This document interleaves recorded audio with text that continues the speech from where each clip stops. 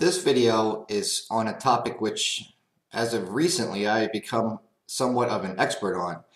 The subject matter is trusses, trusses, chords, webs, king post, queen post, you name it. Um, I have educated myself more than I wanted to ever want to know about trusses. Um, moral of the story is this. I have a brand new home that I purchased. I designed myself. Um, I've taken possession. I've moved into this house and I've lived there for a year. And since day one, there's been something that's been driving me crazy. And I'll show you what it is. Now, this here is, now forgive me, again, I just moved into this home.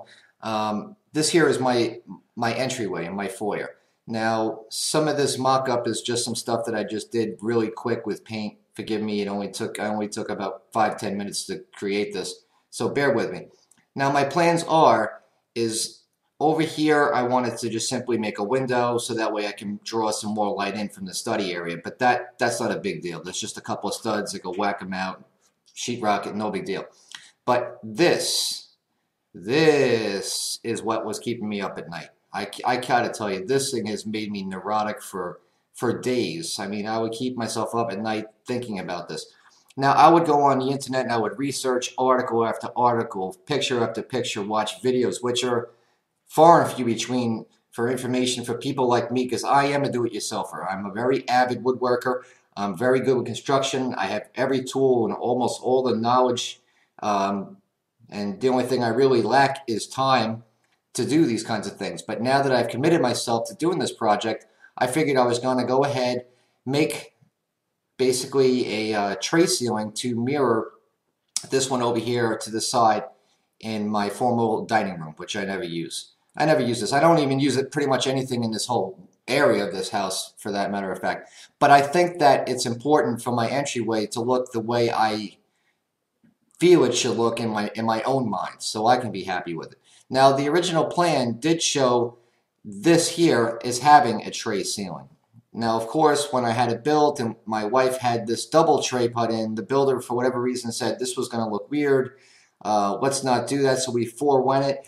Um, so now it is foregone, and I'm left with just a flat ceiling over in this location. Now, this does not jive with me. Every day I come home and I look at it, it drives me crazy. It drives me absolutely insane. I look at it almost every single day. So I was contemplating on just going ahead, doing the research, and handling this job on my own. But here's where some of the problems start to come in. Um, new home, new warranty. I have a house full of, of kids and pets, myself included, of course. Now, God forbid, what if something happens? What if, of course, I know the roof isn't going to fall down on me just by removing and cutting out a couple of trusses. However, couple years down the road, maybe the door won't close right. This thing could start squeaking. You can get a roof sag because what I want to do is I need to cut out two trusses. Basically, I got one nine inches in about here, so that was my plan of where to start because I've been up in this attic, of course, a few times. And then these are 24 inches on center, so one, two, and this would give me enough length so that way I can match the width of this door, which here is 67 inches. So my plan is to go up in here, move in about 9 inches, so I'm on the outer edge of the next ceiling joist or truss, which is located here, make my cut, open it up, 67 inches square, and I'm going to do a, double tray. I know I didn't fill in this with paint. Like I said, it's just a quick thing. It's not that serious. But I want it to be 67 inches by 67 inches. I want to duplicate this double tray effect.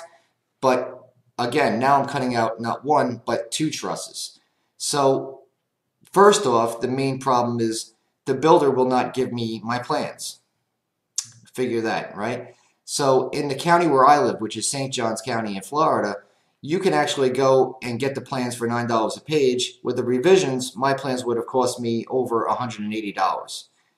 Now, if you go down to the um, the town, which is over here by me in St. Augustine, for $2.25, they will give you a CD with all of your plans, all the revisions, all the sign-offs, all the stamps, all the engineering detail, everything. So what you're looking at right here is the plan of my first floor of my home. Now, let me just move up a little bit.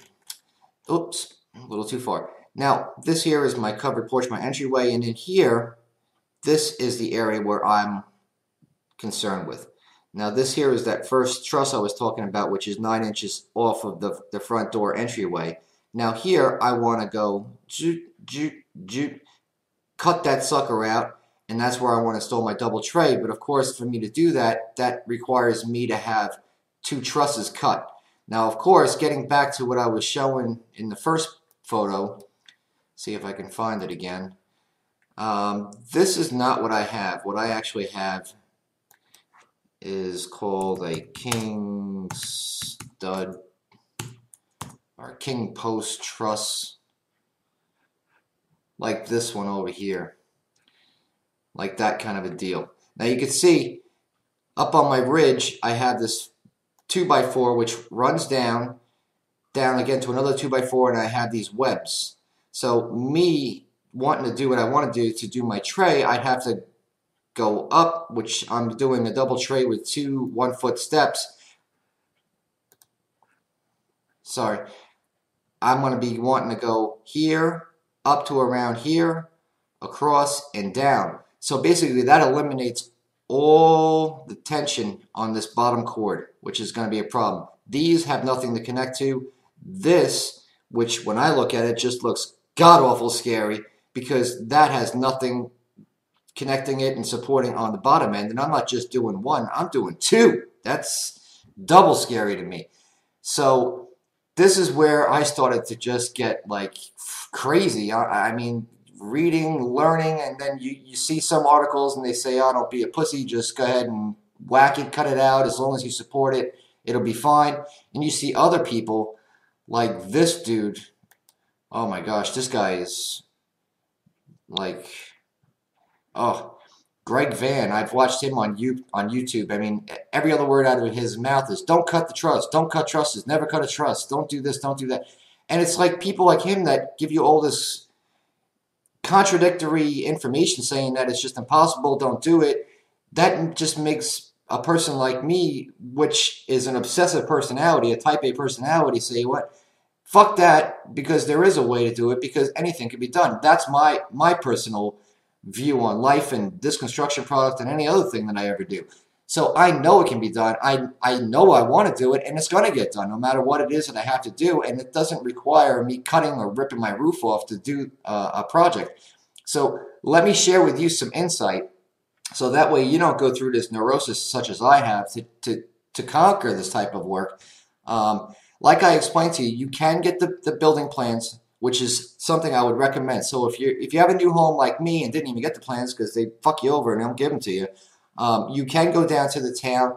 You can get them. I don't know if they put them on disc or if you're going to get stuck buying them on paper. If you do have to buy them on paper, just go, just buy the small ones and bring them to a large side, large one of those large size printing companies or or a place that specializes in kind of stuff and make them larger if you want to see them larger. Some people even have printers where they can do this kind of stuff. For me, it's not that serious. Uh, a zoom button is good enough for me. But what this enabled me to know is it tells me right here that this is number T24 truss. This one here is T25. So now that with that information, I says I need to get in touch with someone who is a structural engineer. Apparently, that is the person that you need a stamp on a on a revision, so that way you could take that information, go down to the building department, submit that, get your permit, start doing your work, and then of course the engineer would come by, or the inspector, I should say. I don't know if he has to be a, structural engineer to, to, to, to see it, as long as you go by the plans. You get your plans from the structural engineer. He comes, reviews the work because I am doing this work. I'm not hiring someone to do this work uh, because I'm fully capable of doing it myself, and I probably feel that I would do it better and take more care to do it. But that's me. You know, you can do whatever you want to do. You want to pay somebody, you know, you can pay somebody not have to even watch my video because uh, this is really for the guy who does things himself and wants to do them right. Um, but learn from my mistakes. You, well, thankfully, I didn't make any mistakes this time around because I stopped and I thought about it and I says, you know what? Try to do it right. I was scared to death of, of just getting beaten over the head with paying structural engineers, having people come over, giving me a big song and dance about how hard this thing is to do and how not to do it and how they would do it. You know what? I have my own ideas, my own plans. All I need is someone to just guide me and tell me what it is that I need to do, and I'll be happy to do it. So now that I know my trusses, the next step for me logically was to call up a structural engineer. Now, of course, you call them up and you tell them what you want to get done. They say, well, I got to see the plans. I got to see this. I got to see that. I says, you know what? Let me try this. And I got some good information from somebody else um, online. I don't know where. But he says, why don't you just call a company who manufactured your truss your trusses in your house in the first place? I said, well, doesn't that make sense? So that's exactly what I've done. Now, I didn't know who it was, but then lo and behold, when I look on the plans who built my house, you see the guy's stamp. There he is. This guy and his company over in Northeast Florida had created all the trusses, all 128 for, uh, for my house. He's the guy. So I said, you know what? I'll try. I'll pick up the phone. I gave him a call. And lo and behold, he actually made my revisions, emailed them back to me within a matter of days. And he didn't charge me an abs- not one single copper penny to do the work. So now, not only did I get my answer, but I actually have it in black and white with a nailing pattern, what lumber to use, tells me everything. Comply with his design, tells what kind of saw, you know, build my box, you know, use one two by eight to fit for this, uh, plywood gussets, what type of plywood to use, two by four, what type of two by fours. Um, it tells me how to do the plates, 5 8 sheathing, the whole bit, all the numbers, all the sizes, widths, areas removed, everything is to scale. I mean, this is like a joy. So now all I have to do is go ahead, go up in my attic, clean out all that insulation. Now, of course, the tricky part is making it look good, but right now I'm just in the construction phase. And there will be a second video to show you the before and after, which I, I hope should look perfect. I see no reason why um, it wouldn't if I take my time. But however, as you can see, here are my answers. And these people at this company are absolutely fantastic. I mean, I could not ask for better. Um, just a joy. I mean, I, I shout out to Manning Truss because these people are super. Um, so really, that's all there is to it. It's telling me, you know, this here is that scary King Stud Truss. It's showing me the 2x4. Just cut that sucker out, take my 2x8s, put it in there, double them up, tells me the nailing pattern, where to put my gussets. Here's my other plate right there.